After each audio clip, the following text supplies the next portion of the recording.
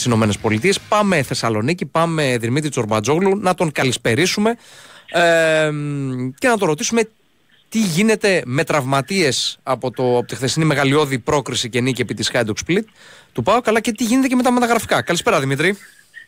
Γεια σου Παναγιώτη, καλησπέρα. Καλησπέρα σε όλους. Ε, ό,τι και να με ρωτήσεις όπως βλέπεις αφορά τους παίκτες του κέντρου Ναι. για τον ε, ΠΑΟΚ. Τα πάντα όντως. Όλα εκεί επικεντρώνονται. Σε πετυχαίνουμε για και άλλη κέντρο μια φορά. Θεσσαλονίκης δηλαδή αυτή την ώρα; Α, όχι, όχι. Α, είσαι εκτός εσύ. Περιφέρεια είσαι. Ε, τα έφερε έτσι ώστε όλα αυτά τα θέματα να αφορούν εκεί χαφ στο, στον άξονα όπως και η τελευταία πώληση του ΠΑΟΚ βέβαια, Μμμ. γιατί και αυτή έχει σχέση, του Ντόγκλας Αουγκούστο.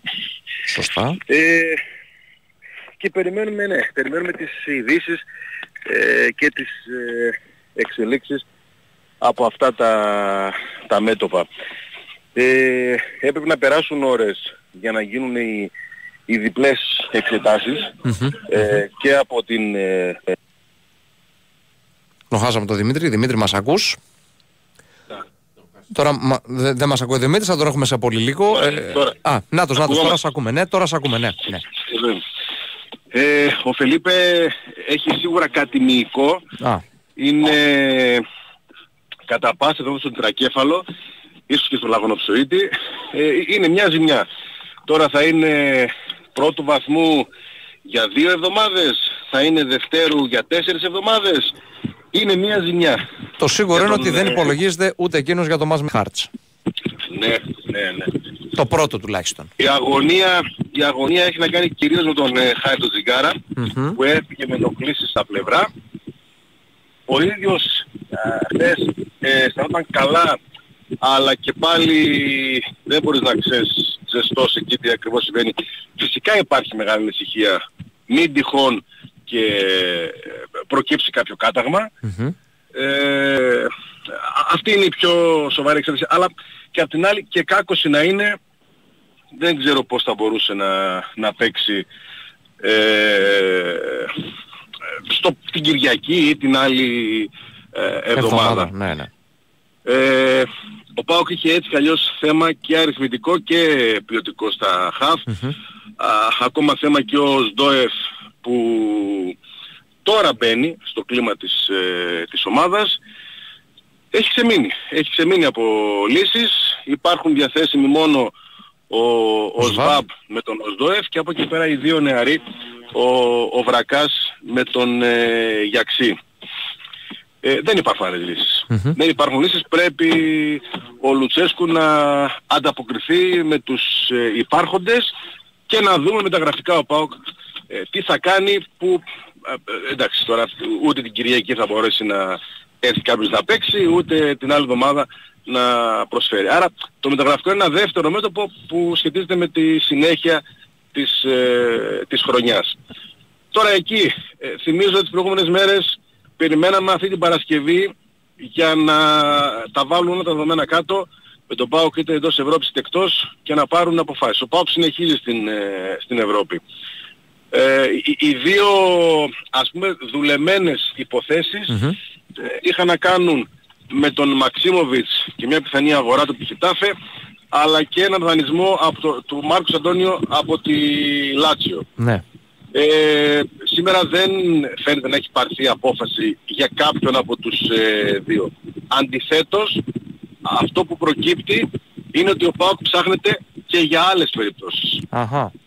Δεν ακούγεται καλό, δεν είναι μια θετική εξέλιξη, Ναι. δεν δείχνει αποφασιστικότητα. Είναι Αυτή το η λεγόμενο αυτό και από την πραγματικότητα. αρχή που λένε. Γιατί α, αν Ε, λέγαμε ότι έχει από την καταλήξει αρχή, αυτούς από τους δύο, το- ναι. από το ενδιάμεσο Μμ. ε, για διάφορους λόγους που να έχουν, κάνει, να έχουν να κάνουν και με το οικονομικό δυστυχώς δεν φαίνεται να έχει πάρθει οριστική απόφαση για το πού θα στραφεί ο ΠΑΟΚ σε έναν από τους ε, δύο.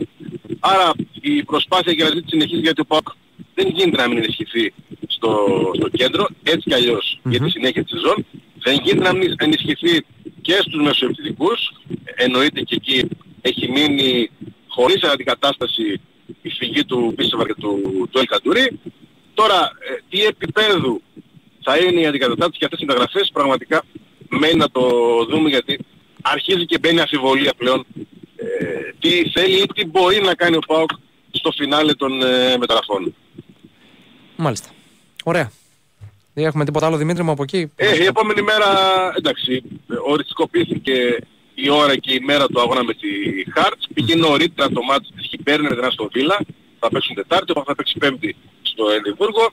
Κανονικά η αναμέτρηση με τον Αστέρα Τρίπολης. Προπόνηση τώρα για τον ε, ΠΑΟΚ.